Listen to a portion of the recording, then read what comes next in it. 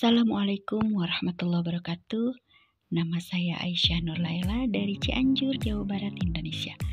Saya akan membacakan pantun yang saya tulis dalam buku Kumpulan Seribu Guru ASEAN Menulis Pantun.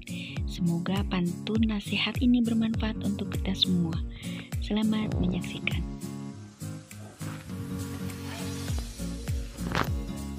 Anak soleh, anak beriman, ngaji Quran, rajin tadarus. Hidup boleh mengikuti zaman, asal jangan terbawa arus. Milea rindu kepada Dilan. Dilan rindu terlalu berat. Kejarlah ilmu, ikuti zaman. Pegang akidah kuat dan erat. Beli rujak dan kue roti. Dimakan Ahmed di Sukaraja. Harus bijak dan hati-hati. Memakai sosmed seperlunya saja. Petik jambu di tepi sawah. Sambil berlari, petik melati. Hormati ibu, patuhi ayah.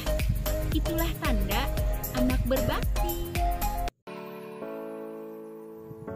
Ada tupai di atas pohon. Loncat ke dahan,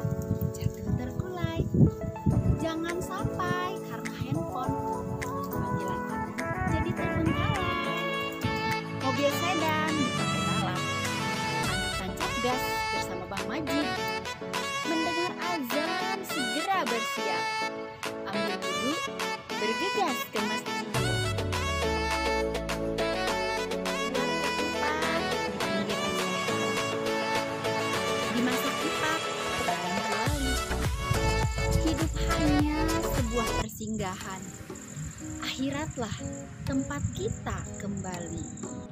Beli tapai di kedai Bang Isal, ditambah setuk dan buah pinang. Hidup jangan sampai menyesal di akhirat nanti kalau tidak sembahyang.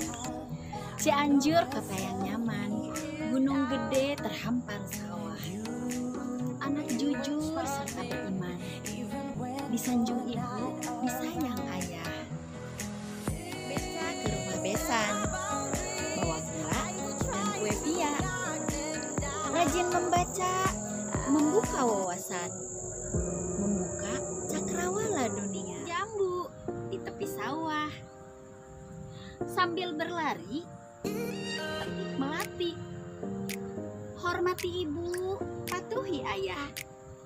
Itulah tanda anak berbakti.